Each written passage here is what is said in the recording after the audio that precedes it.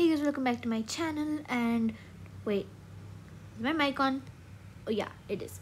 So today we are um we are gonna be looking at the adopt me omg the haunted mansion. Okay that came out a day ago. Um i'm super excited but i'm also very sad because the release date is on the 21st and the 21st is actually the beginning of my exams. So that is very saddening and I am very sad, but at least the map will be there. And it's not like I can't at all visit Adopt Me. That's happening. Also, many of you, if you watch Cookie Cutter, you might have already seen this, but I'm just trying to spread it more, even though I have like most likely won't. Look at this. Look at this.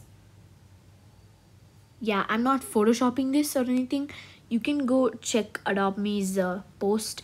I thought cookie cutter was just like photoshopping it until i literally just went to the safari browser version of youtube and went to the community page and here it is. The evil chick. Looks like that's one confirmed pet. Actually two. The skelly dog is also coming. Actually um, i'm gonna stop the screen recording and display a photo of the skelly dog but until then look at this it's actually coming out. Wow. I am very excited. I am freaking out inside.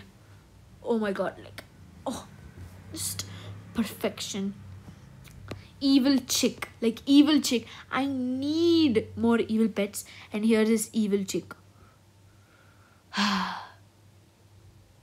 well, I hope you enjoyed this, and also I'm gonna display my little drawing concept of the skelly dog which is most likely and I mean most likely coming out.